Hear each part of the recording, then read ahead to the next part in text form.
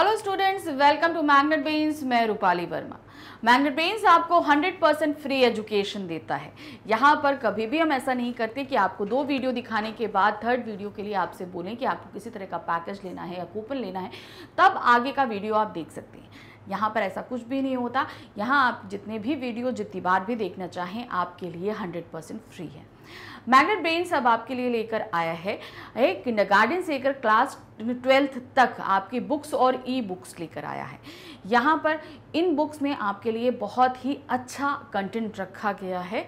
और साथ ही इसको और ज़्यादा ईजियर या एफिशिएंट बनाने के लिए हमने इसे कैटेगराइज किया है। मतलब आप ऐसे देखिए कि हमने यहाँ पर आपको थ्योरी बुक्स दी हुई हैं एम बुक्स हैं सैंपल पेपर सोल्यूशन बुकलेट्स हैं।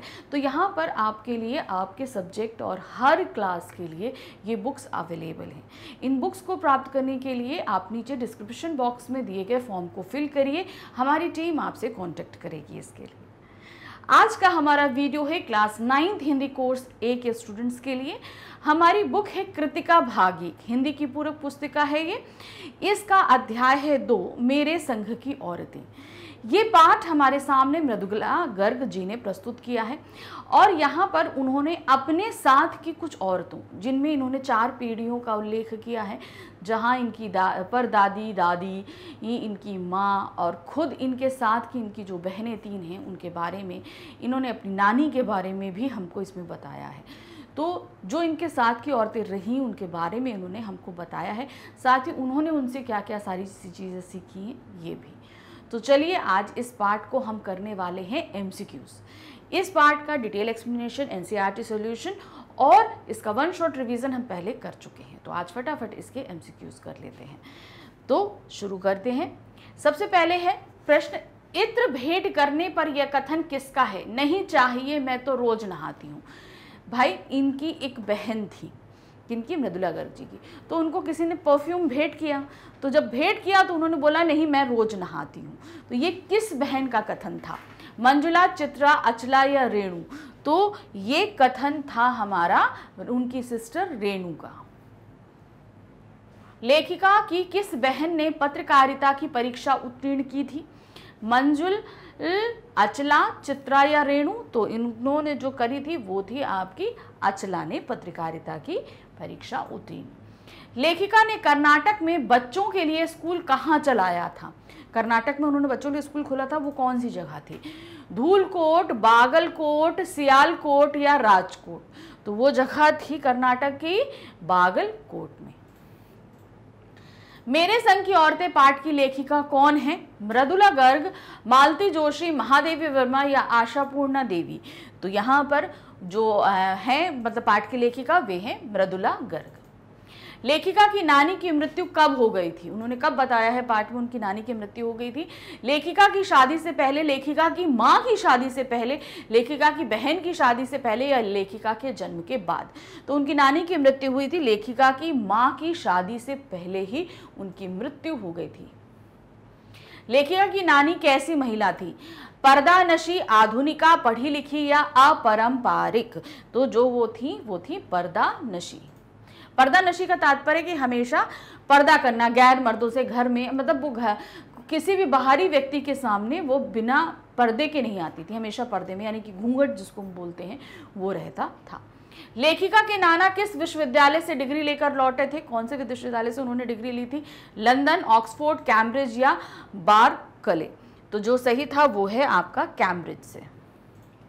लेखिका की नानी अपनी बेटी के लिए कैसा वर चाहती थी? सरकारी नौकर, आज़ादी का सिपाही, डॉक्टर या बैरिस्टर? तो वो चाहती थी वर कैसा? आज़ादी का सिपाही। क्योंकि उस समय देश गुलाम था तो वो ऐसा चाहती थी कि जो अपने देश से प्रेम करता हो, ऐसा उनका दामाद होना चाहिए। लेखिका के पिता को किस परीक्षा में बैठने से रोक दिया गया था? वो कौन सी परीक्षा देने वाले थे जिन्हें उस परीक्षा में बैठने से रोक दिया गया था? आईसीएस, आईआईटी, आईपीएस या आईएमएस तो उन्हें रोका गया था आईसीएस की परीक्षा देने से। लेखिका के नाने पक्के क्या माने जाते थे? उनके नाना पक्के क्या माने जाते थे? समाजवादी साम्यवादी ग्रामीण या साहब? वो माने जाते थे साहब। यानी कि उनके ऊपर अंग्रेज़ों का बहुत ही ज़्यादा असर था। भाई, बाहर रहे थे, लंदन रहे थे, वहाँ पे पढ़े बड़े थे तो उनका रहन सहन सभी कुछ जो है, वो कैसा था? अंग्रेज़ों जैसा था। तो इसीलिए यहाँ जब इंडिया आए तो उनको सभी लोग क्या कहते थे? साहब साहब कहकर बुलाते थे। लेखिका की माँ का अधिकांश समय किस कार्य में बीतता था? लेखिका की माँ का समय। किसमें बीतता था? खाना बनाने में, किताबें पढ़ने में, घूमने फिरने में या सजने संवरने में। तो उनका ज़्यादातर समय बीतता था किताबें पढ़ने में। वो किताबें बहुत ज़्यादा पढ़ा करती थी उनकी माँ। लेखिका की माँ के प्रति सबकी श्रद्धा का मुख्य कारण क्या था? भाई, लेखिका की माँ ज़्यादा काम नहीं करती, कुछ नहीं करती, खास तौर से वो अपने रूम में रहती और किताबें पढ़ा करती थी। लेकिन तब भी जो है परिवार के लोग उन्हें बहुत सम्मान और इज़्ज़त दिया करते थे और सब उनको श्रद्धा भी बहुत रखते थे उनके फैसलों पे। तो इसका कारण क्या था? क्या ऐसा था कि जो सब उन पर इतना श्रद्धा रखते थे? वे बहुत काम करती थी इसलिए वे कभी झूठ नहीं बोलती थी। वे बैरिस्टर की बेटी थी, वे बहुत अधिक सुंदर थी। तो उसका सही कारण था कि वे कभी झूठ नहीं बोलती थी। यानी कि जो चीज़ सच है, वो उसी पर डिग रहती थी, चाहे जिसको जैसा भी लगे। इसीलिए लोग उन पर ज़्यादा श्रद्धा रखते थे। जैन समाज में संग्रह ना करना किसी से कुछ ग्रहण ना करना क्या कहलाता है? जो संग्रह नहीं करना किसी मतलब कि आ, हम आ, क्या कहते हैं किसी से कोई चीज़ ले नहीं और इकट्ठा ना करें अपने पास तो वो क्या कह नहीं कहलाता है। अप, अपरिग्रह अग्रहण असंग्रहण या अपरिहाय। तो यहाँ पर जो सही होता है जैन समाज में उसे बोलते हैं अपरिग्रह। लेखिका की परदादी के गाँव का क्या नाम था? परदादी हम नानी की, अभी हमने नानी की बात करी, अब हम दादी की बात कर रहे हैं। पर दादी के गाँव का नाम क्या था? हपुड़, नकुड़, अकुड़ या कपुड़। तो जो सही है उनका नाम वो था नकुड़। अक बकाया शब्द का अर्थ क्या होता है? अक बकाया, इसका मतलब क्या होता है? घबराया, शर्माला, शर्माया, बहलाया या फुसलाया। तो अक बकाया का जो मतलब होता है, वो है घबराया। बहुत ही ज़्यादा हम किसी चीज़ से घबरा जाएँ तो क्या बोलते हैं कि अकबका गया एकदम से, घबरा के कुछ उल्टा पुल्टा हमसे होने लगता है। पहरेदार ने चोर को कहाँ देखा था? तो उन्होंने एक वाक्य हमारी लेखिका ने बताया था, किस तरह उनकी दादी ने एक चोर को एक अच्छा इंसान बता दिया था। तो पहरेदार ने उस चोर को कहाँ पर देखा था जो पकड़ के दादी के पास ले आया था? भाई, वो चोर घुसा था, घर में सब लोग फ़ंक्शन में गए हुए थे बाहर की तरफ़ था। दादी अपना रूम छोड़ के शोर शबा की वजह दूसरी जगह पे आके सो गई थी। अब उसी दिन चोर घुस आया वहाँ पे। अब दादी क्या करती है, उससे पानी मंगा लेती है। वो पानी लेने के लिए कुएँ पे जाता है और कुएँ पे पहरेदार उसको देख लेता है। तो वो पकड़ के ले आता दादी के पास में। तो कहाँ पे पहरेदार ने उसको देखा था? छत पर, कमरे में, कुएँ पर या बरामदे में? तो पहरेदार ने उसको देखा था कुएँ पर। 15 अगस्त 1947 के दिन आज़ादी का जश्न देखने के लिए लेखिका किस बीमारी के कारण नहीं गई थी? 15 अगस्त सन 1947 को हमारा देश आज़ाद हुआ। अब इसका बहुत बड़ा जश्न मनाया जा रहा था। तो ये जश्न देखने हमारी लेखिका नहीं जा पाई थी। उनको एक बीमारी हो गई थी। वो बीमारी क्या थी आपको ये बताना है। टाइफाइड निमोनिया तपेदिक या डायरिया तो उनको क्या हुआ था? उन्हें हो गया था टाइफाइड। 15 अगस्त उन्नीस के दिन लेखिका की उम्र कितनी थी? वो उस समय कितने वर्ष की थी? 12, 11, 10 या 9 तो उनकी उम्र थी 9 वर्ष की। लेखिका के पिता ने उसे कौन सा उपन्यास पढ़ने के लिए दिया था? उनके फादर ने उन्हें कौन सा नॉवेल दिया था पढ़ने के लिए? ब्रदर्स कास मोफ, brothers Karamazov brothers Karamazov, brothers Kasa मवोज। तो यहाँ पर जो सही है, वो था ब्रदर्स कारा मवोज। ये उपन्यास उन्होंने पढ़ने के लिए दिया था।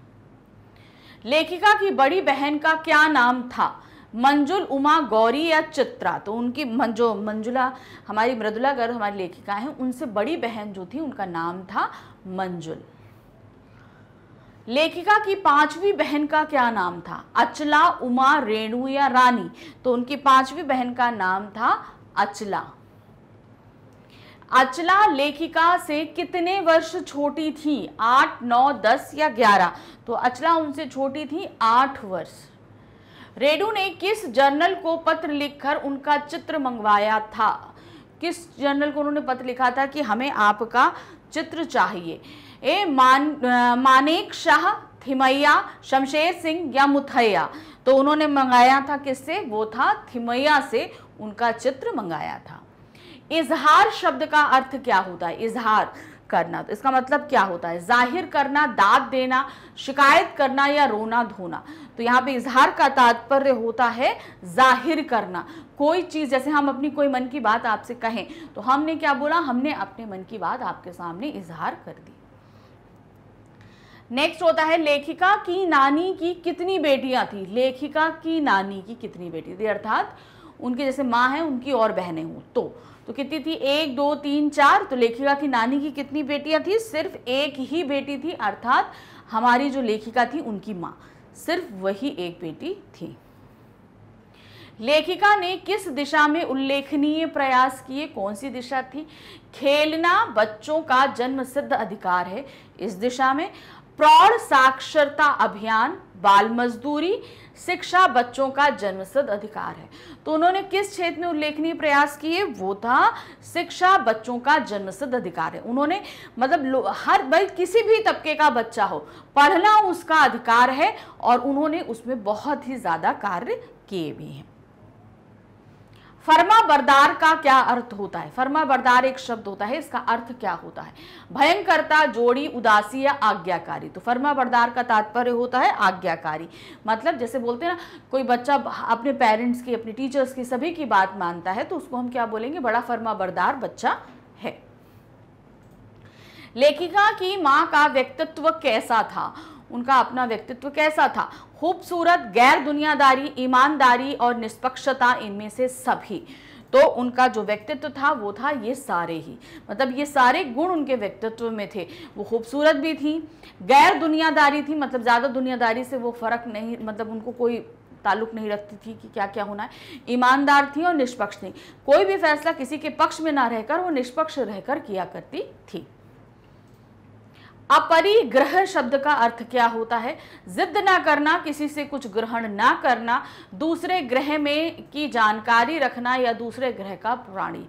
तो अपरिग्रह का तात्पर्य होता है, किसी से कुछ ग्रहण नहीं करना। मेरे संघ की औरतें संस्मरण में लेखिका ने कितनी पीढ़ी की महिलाओं का वर्णन किया है? कितनी पीढ़ी की महिलाओं का वर्णन उन्होंने यहाँ पर किया है? एक पीढ़ी, दो पीढ़ी, तीन पीढ़ी या चार पीढ़ी की? तो उन्होंने यहाँ पर वर्णन किया है चार पीढ़ी की औरतों का। भाई परदादी, दादी, माँ और खुद उन्होंने अपने जितनी, अपनी और अपनी बहनों की। तो ये चार पीढ़ी हो गई ना? तो नानी की मृत्यु के समय लेखिका की माँ की उम्र कितनी थी? जब नानी की मृत्यु हुई तो उस समय लेखिका की माँ कितने साल की थी? दस वर्ष, बारह वर्ष, चौदह वर्ष या पंद्रह वर्ष? तो उनकी माँ थी, वो पंद्रह वर्ष की थी। नानी जी अपने मन में कौन सा सपना पाले बैठी थी? भाई, वो पर्दा नशी औरत थी, वो ज़्यादा लोगों से ताल्लुक़ नहीं रखती थी, लेकिन तब भी उनके मन में एक सपना था। वो सपना क्या था? आज़ादी के आंदोलन में हिस्सा लेने का, माँ की शादी का, बैरिस्टर की पढ़ाई करने का, देश की आज़ादी का। तो भाई, वो बहुत ही अपने घरेलू किस्म की औरत थी, धार्मिक भी थी, पर्दानशी थी, तब भी उनके दिल में जो सपना था, वो था देश की आज़ादी का। मतलब हमारा देश आज़ाद हो जाए, इसका सपना उनके मन में था। लेखिका की दादी किस प्रकार के व्यक्ति को सही राह पर ले आई थी? लेखिका की दादी किस तरह के व्यक्ति को राह पर लेकर आई थी? एक झूठे व्यक्ति को, एक शराबी व्यक्ति को, एक अपाहिज को या एक चोर को? तो कौन आया था घर में घुस के? वो था चोर। और उसको उन्होंने एक ही लोटे में पानी पी के अपना क्या बना लिया था? बेटा बना लिया था। और उनसे बोला था, या तो तुम चोरी करो, जेल जाओ। तो या फिर तुम मेहनत करो। तो उन्होंने क्या किया था? एक चोर को सही व्यक्ति अच्छा व्यक्ति बना दिया था। मेरे संघ की औरतें पाठ लोगों को क्या शिक्षा देता है? ये पाठ हमें किस प्रकार की शिक्षा प्रदान कर रहा है? लड़कियों को स्वतंत्रता पूर्वक जीने का अधिकार देना चाहिए। लड़कियाँ घर के लिए बहुत आवश्यक होती हैं। लड़कियों के बिना समाज अधूरा होता है। लड़कियाँ परिवार का आधार होती हैं। तो जो हमें संदेश दे रहा है वो है, लड़कियों को स्वतंत्रता पूर्वक जीने का अधिकार देना चाहिए। क्योंकि अगर वो स्वतंत्रता पूर्वक जीती हैं तो उनकी सोच उतनी ही जो है अच्छी होती है। वो अपने घर, परिवार और सभी के लिए उतना ही अच्छा कर पाती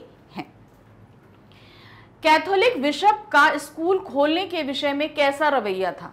नीचे दिए गए विकल्पों के आधार पर बताइए।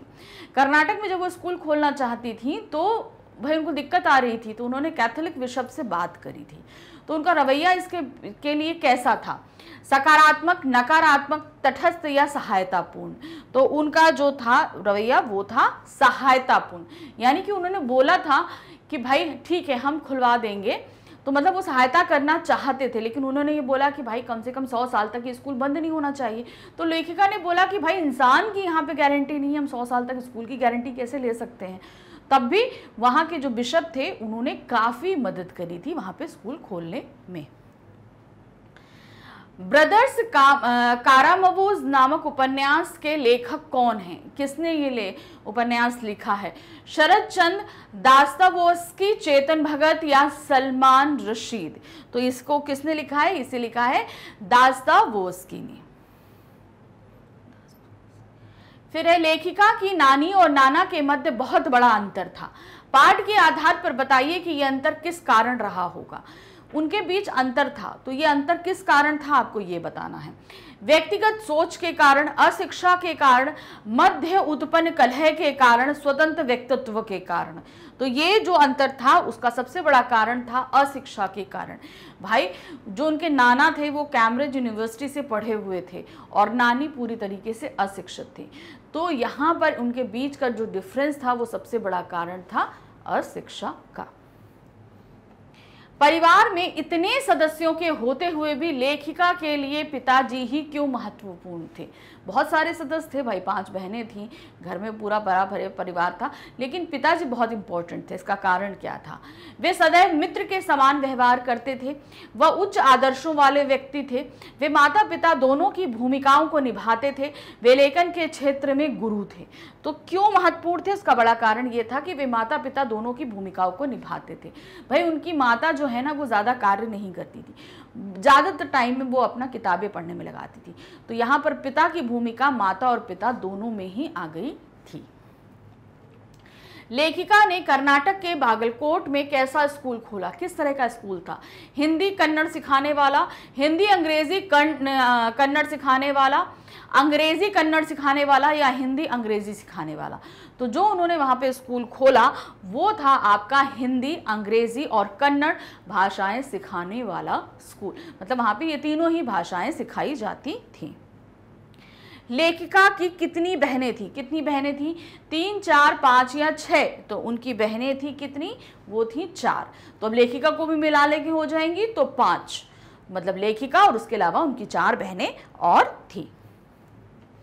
मेरे संघ की औरतें पाठ गद्य की किस विधा में लिखा गया है? किस तरह की साहित्यिक विधा में ये पाठ हमारे सामने प्रस्तुत किया गया है? संसनात्मक शैली, यात्रा वृत्तांत शैली, उपन्यास शैली या कहानी शैली। तो ये कैसा है? ये है आपका संस्मरणात्मक शैली। संस्मरण में क्या होता है हमारे सामने? कि जब बहुत सारी यादें जो हैं कलेक्ट करके एक जगह एकत्र की जाती है और हमें पढ़ने के लिए दिया जाता है। तो ये उसी तरीके की शैली में, क्योंकि इन्होंने अपनी नानी के, परदादी के, दादी के, माँ के, पिताजी के नाना जी के अपनी बहनों के सभी के बारे में हमें बताया। तो यानी कि उन्होंने अपनी यादों से निकाल कर ये पूरा पाठ हमारे सामने तैयार करके रखा है।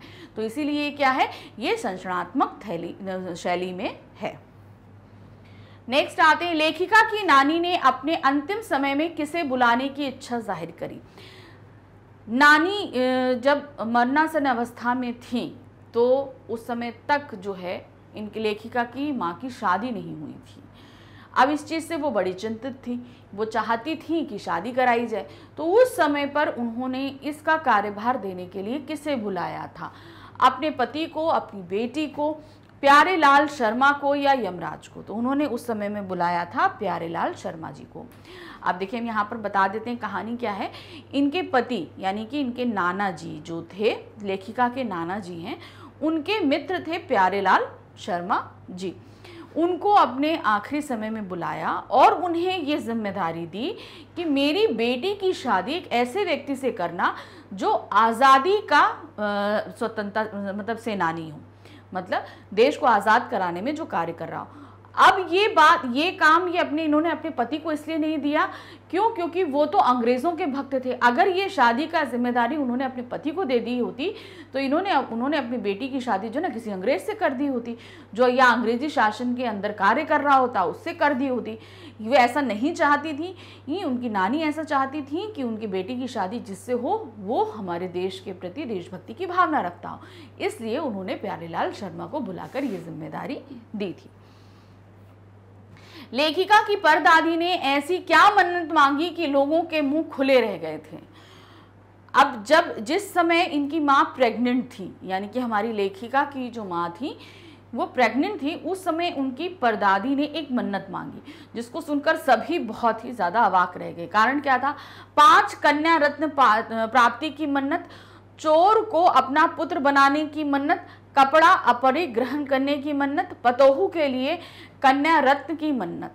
तो उन्होंने क्या मन्नत मांगी? वो थी पतोहू के लिए कन्या रत्न की मन्नत।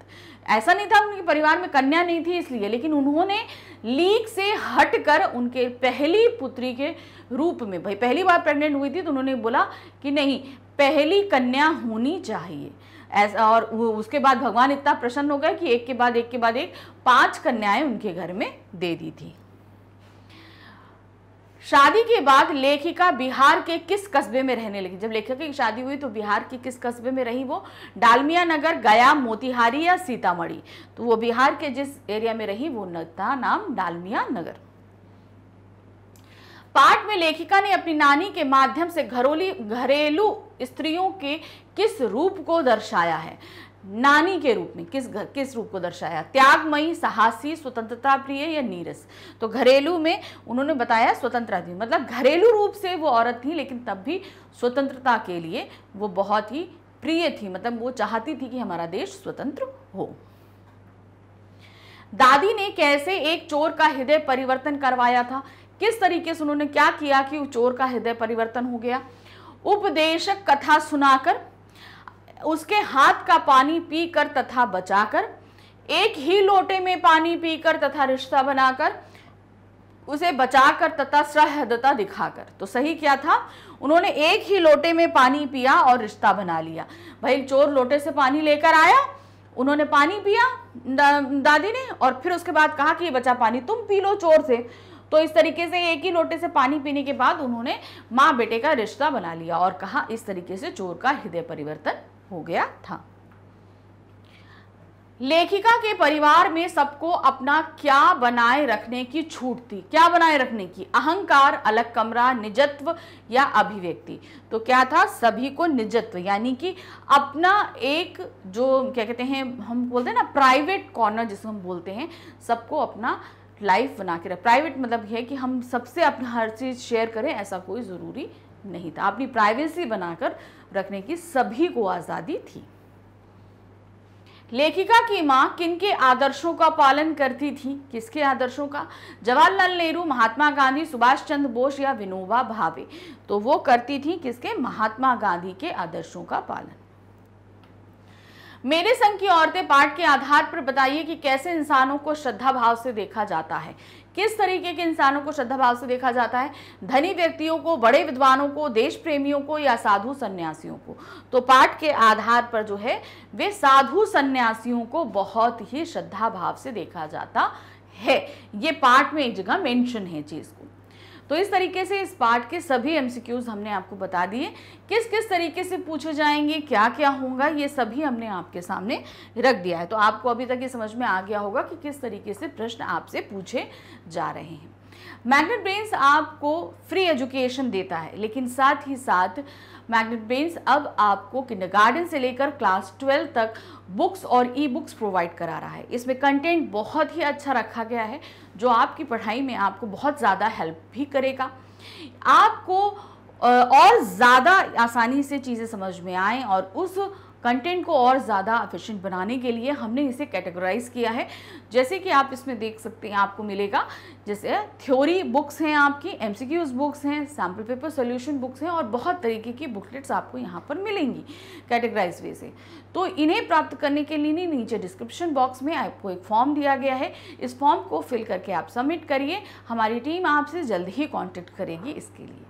साथ में बने रहिएगा। आगे बहुत कुछ है आपके लिए। Thank you for watching bye bye